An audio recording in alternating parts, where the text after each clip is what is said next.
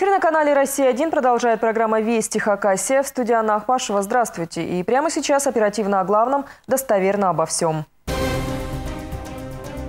Рыбалка с риском для жизни. Инспекторы ГИМС провели на водохранилище разъяснительный рейд. Осквернили память. В Саяногорске ищут вандалов, повредивших памятник воинам Великой Отечественной войны. Танки грязи не боятся или проверка на прочность. В Абакане прошли гонки автоэкстремалов. Черногорский годовалый ребенок выпал из окна четвертого этажа. Трагедия произошла в субботу. Девочка в тяжелом состоянии в реанимации. По информации Следственного комитета, женщина с двумя детьми находилась в гостях. В вечернее время мать отлучилась из дома, оставив детей под присмотром подруги. Та же не озаботилась их безопасностью и легла спать. Девочка подвинула к окну стул, забралась на него на подоконник и, облокотившись на москитную сетку, выпала из окна. Падение ребенка заметили соседи, они и вызвали скорую помощь. По данному факту следователи проводят проверку. В Хакасии уже не осталось безопасных мест для зимней рыбалки. МЧС предупреждает, лед насыщен водой и очень хрупкий. Однако желающих рискнуть жизнью меньше не становится. На Красноярском водохранилище даже пришлось выставить посты. Вместе со специалистами МЧС в патрулировании акватории приняла участие и наша съемочная группа, рассказывает Юлия Константинова. Посты на Красноярском водохранилище в Волчьем лагу и на Усть-Ербе. Сюда съезжаются заядлые рыбаки со всей Хакасии. Вот и сегодня больше 300 человек. Несмотря на то, что лед очень хрупкий.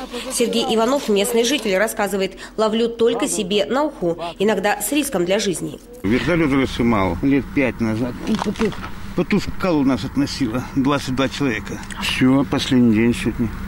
По толстому льду не все на этом. Слишком опасно, видно даже по цвету. Синий или зеленоватый оттенок льда говорит о его прочности, а вот матовый белый или желтоватый, как сейчас, это сигнал ненадежен. Лед уже начал дышать, то есть стал игольчатым. Тут даже не важна толщина, она может быть даже до метра. Нет единого монолита, а значит рассыпаться он может в любую минуту. Достаточно сильного порыва ветра, чтобы пошла волна, способная разбить ледовое поле. На днях это уже произошло. В районе поселка Абакана-Перевоз сотрудники МЧС сняли с оторвавшейся льдины двух горе-рыбаков. Искали больше часа. Повезло, оба живые. Старая поговорка есть спасение утопающих, дело рук самих утопающих. Это не в том плане, что мы их бросили, там, а что люди сами должны заботиться о своей жизни, о сохранности своей жизни, о своем здоровье. Прежде всего, сами.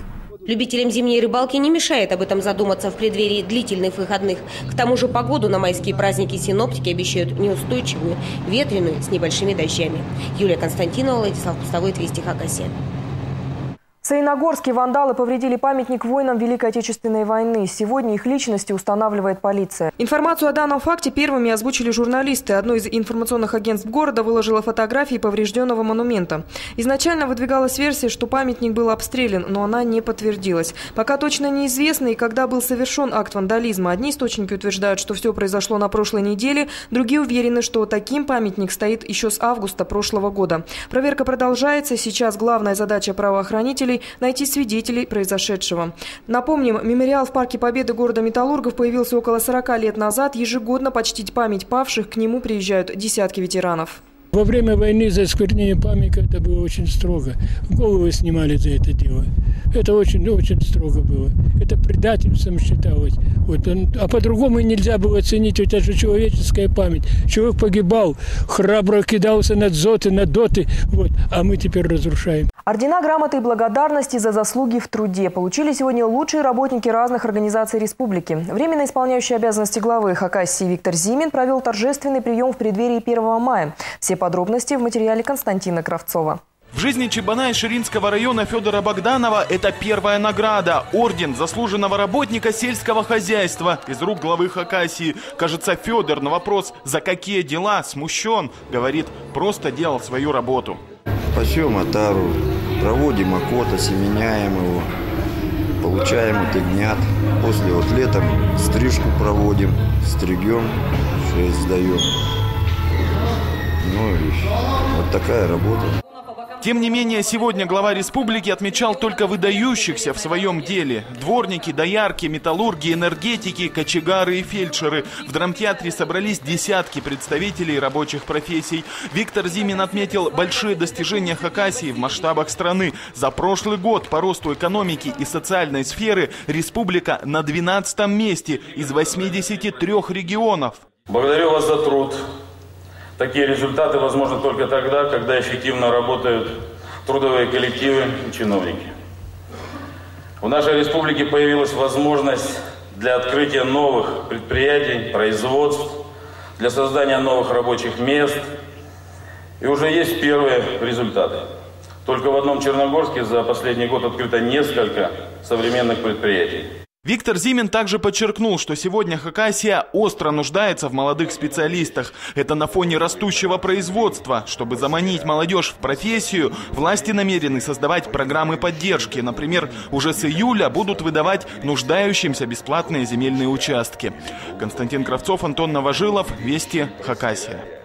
И сегодня же Виктор Зимин вручил юным картингистам новые спортивные автомобили. Этого подарка гонщики ждали 30 лет. В Абакан за картами приехали представители шести муниципальных образований Хакасии – Ширинского, Багратского, Устебаканского, Алтайского районов, Черногорска и Абакана. В этих территориях секции по картингу существуют уже многие десятилетия. Сегодня их посещают около 170 школьников, в основном юноши.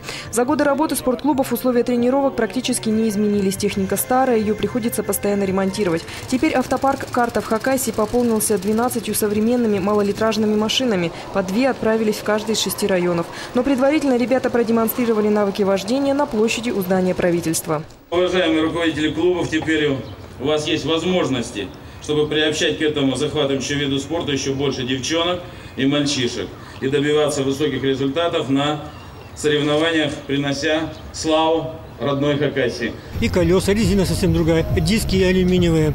Потом что взять? Вот э, защита хорошая, у наших да нет защиты. И поэтому как при столкновении часто ломаются рулевые тяги. Тут уже это будет защищенной защитой. Тормоза, гляжу, очень неплохие.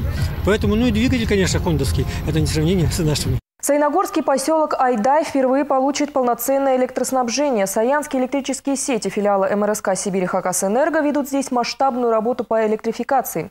Установить тысячу электроопор и протянуть более 40 километров проводов. Все эти работы энергетики намерены завершить в этом году. С уверенностью можно сказать, что жители Айдая дождались светлого будущего.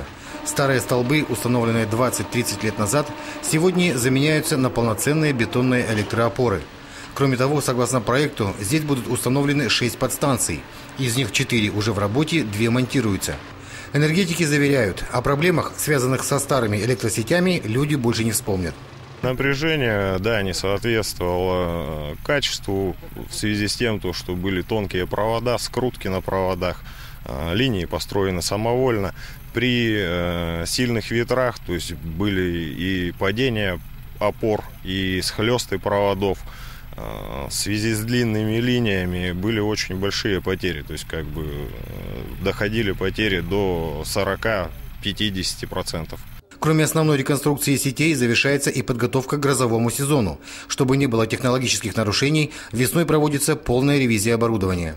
На наших линиях проводим ревизию разрядников э, трубчатых, вентильных э, ставим новые разрядники, называются ограничители перенапряжения. Когда работает нормальная грозозащита, линия разрядники э, гасят волну перенапряжения, при этом отключается линия и тут же автоматически повторно включается, что не приводит к выводу строя оборудования.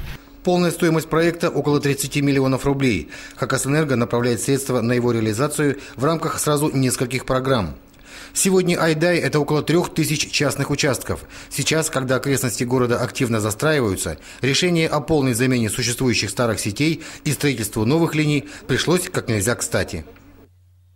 ЖКХ «Наши права и возможности». Брошюру по таким названиям сегодня презентовало региональное отделение «Единой России». В ней доступным языком разъясняются законодательные акты, положения, постановления, касающиеся коммунальной сферы.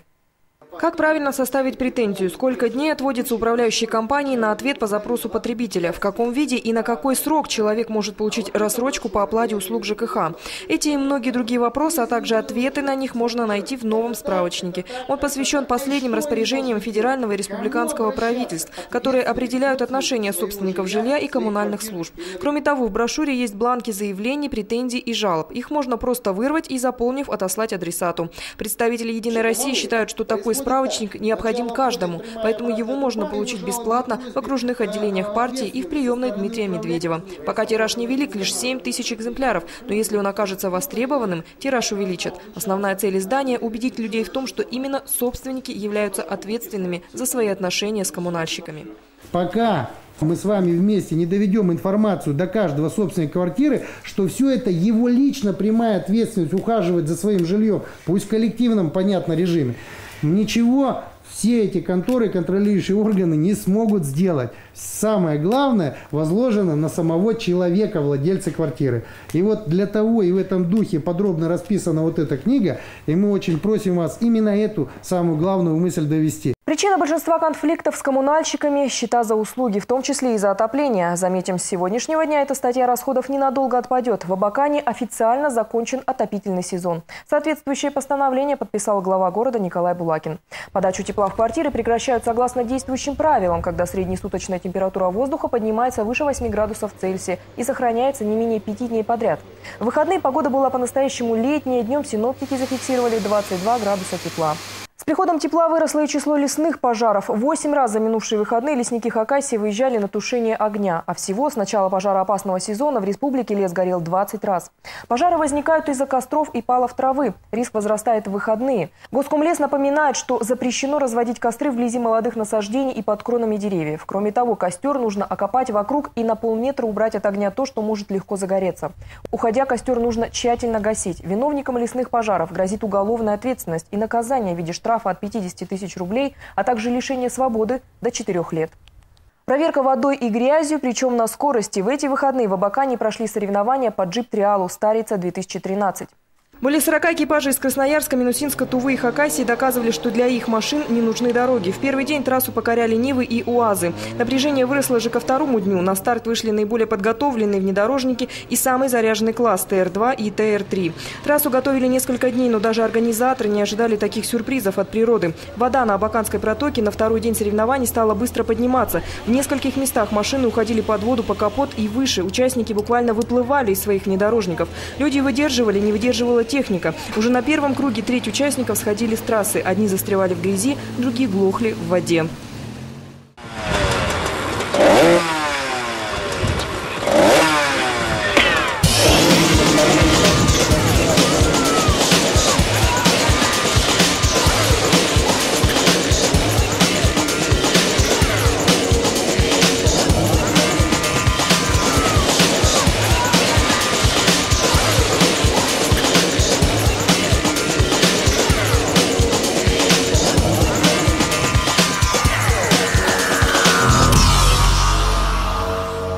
Все, машина под, под водой замкнула где-то там внутри, залила что-то.